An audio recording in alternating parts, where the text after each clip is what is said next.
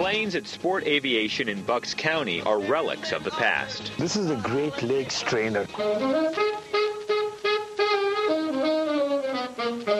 Designed in 1929 during the golden age of aviation, when regulations were few, flying advancements were many, and pilots were popular heroes. We do loops and rolls and fly upside down. My fearless pilot is Azur Hussain. He's been sharing airspace with the birds for 50 years. A lot of people consider this just like a roller coaster ride. His fleet includes eight open cockpit planes. Do you ever get a bug in the in, in the tooth when you're up there? Uh, you can't. Before we fly, we suit up. Federal regulations require a parachute to be part of our flying attire. Our main goal is not to use Do this. this, absolutely. I've absolutely. already done that once.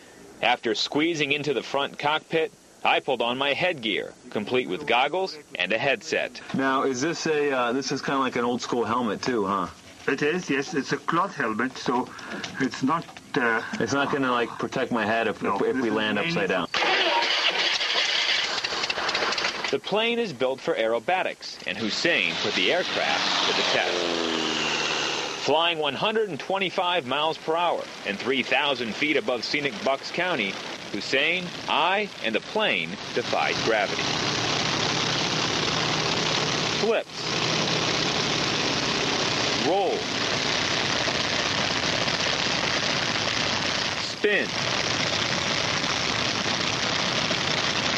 and flying upside down.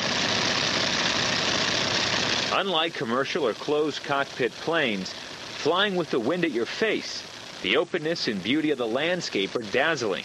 You really get a sense of what drew the likes of Amelia Earhart, Charles Lindbergh, and the Howard Hugheses of the world to the skies.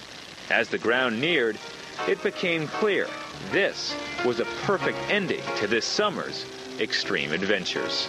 You know, there's only one way to see this this county in this area, and that's from the sky. It has been a wild ride, and I can't wait to do it again.